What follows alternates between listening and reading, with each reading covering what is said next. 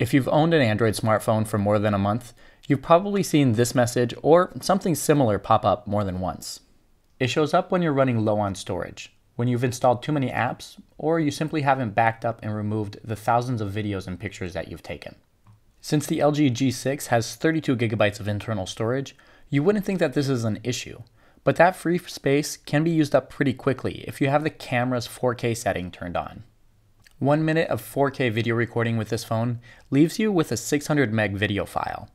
With 10 gigs of space taken up by the operating system, a few gigs used up by other apps and games, you'll run out of storage within 15 to 20 minutes of video recording. Now, Google introduced adaptive storage a few years back with Android Marshmallow, allowing you to use a micro SD card to increase the system storage of the phone. But for some reason, LG has disabled this feature on the G6. But there is a workaround. You'll obviously need a micro SD card. Check the description below for my recommendations. The faster, the better.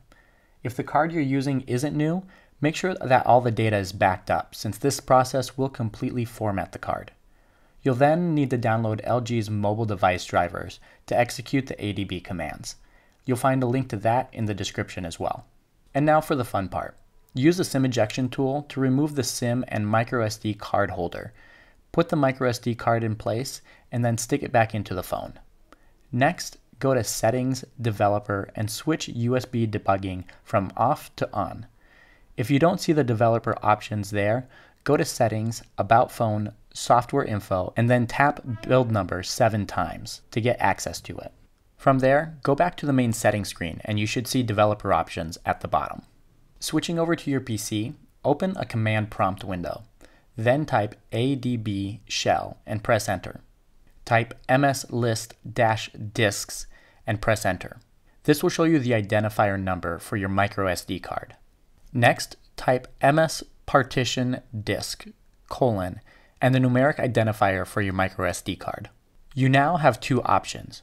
You can either type in private, which will format the entire card to be used as adaptive storage, or a number to indicate what percentage of the card should be formatted so that it can still be used as a removable storage.